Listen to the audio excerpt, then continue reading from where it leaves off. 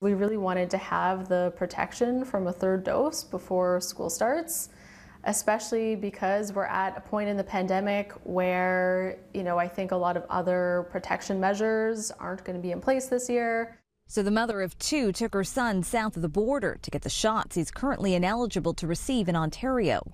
I have seen a few people, really through Twitter, who had mentioned to me that this is an option going to Ogdensburg to get the vaccine. Um, we didn't we didn't really want to do that. We assumed that it would eventually be open in Ontario, so we kind of waited and waited and waited.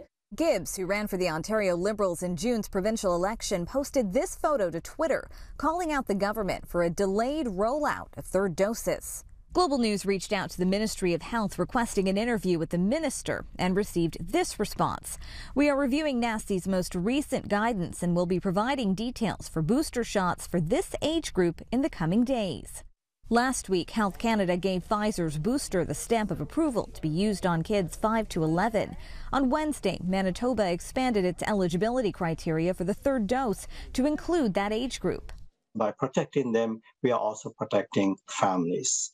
Epidemiologist Nazeem Muhajarine supports the expansion of third dose eligibility criteria.